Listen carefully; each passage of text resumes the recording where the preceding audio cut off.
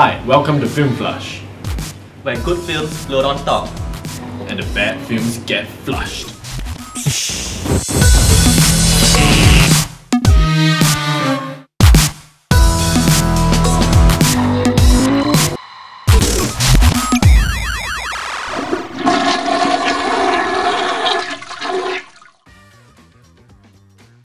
And now it's time for the hot button topic of this year's Oscars, the Best Director race. Um, the nominees are rather diverse. We have uh, old favorites Mhm. Steven Spielberg, Lee Ang, Mm. or Ang Lee as they call him.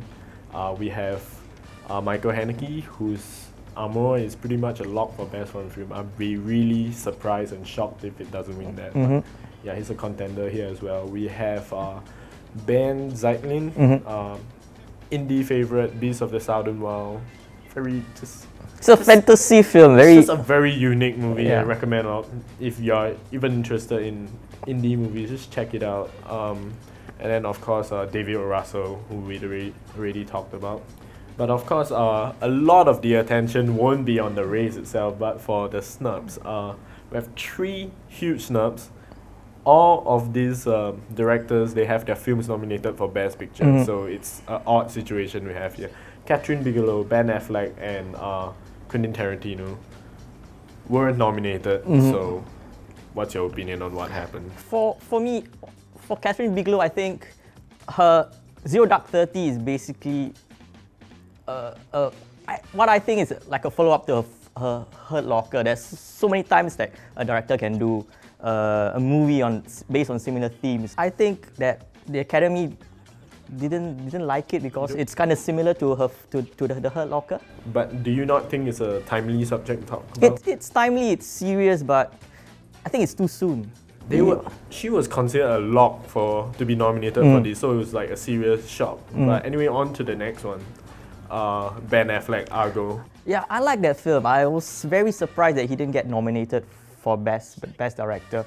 Uh, why didn't he get nominated? Well, I think for he's kind of a, a newbie director, and uh, it's it's a, it's a great film, but I don't think they like him that much probably.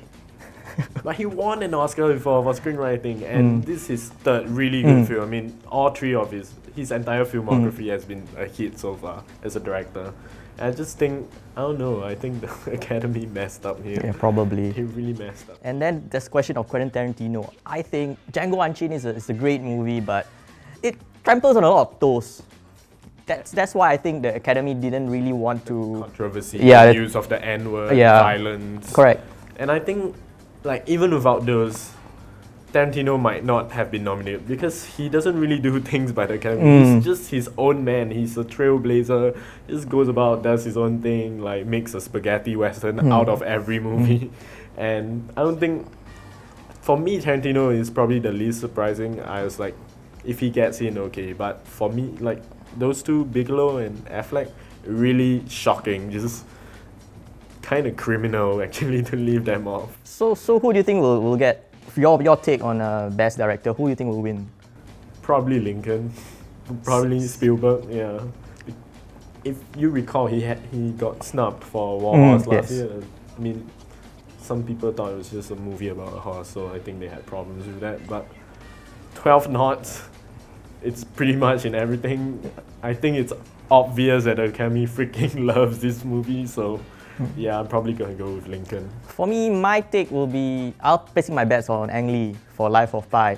For Ang Lee in Life of Pi, it's directorial achievement in itself.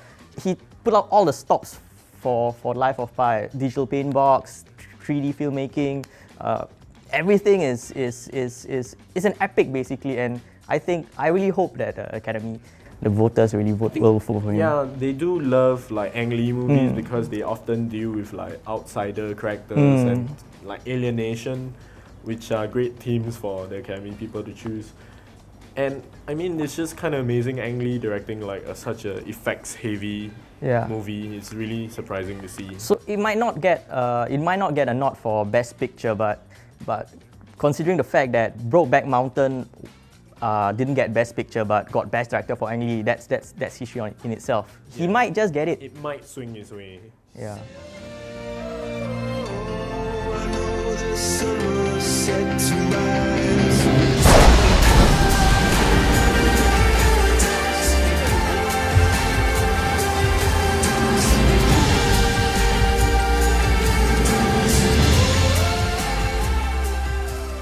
I think when the ceremony gets underway on the 24th February in the Dolby Theatre in Hollywood, I, I suspect it's going to be a very interesting event to watch just because of all the nominations, the, the, the surprises, and the snubs. Even though Lincoln is the film to beat. Your thoughts, Dex?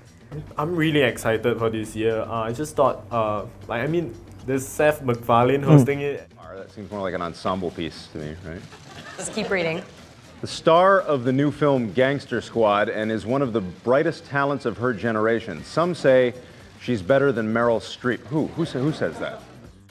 This is the first time I really enjoyed myself watching watching the nominations because Yeah. of Seth MacFarlane. It's Yeah. just like watching a stand-up a comedy. It's Just basically Family Guy Yeah. and Academy Awards, I hmm. think. 2012 was a much better year for film than 2011 was, and I think it shows because the fans and critics are just really outspoken and angry over the snubs. It's just too much good stuff this mm-hmm. year. So yeah, it's really exciting. And even like the other races we didn't mention, like Best Supporting Actor, you have five Oscar winners basically just dueling out for one award. I think there'll be a titanic battle. Just can't wait to see it.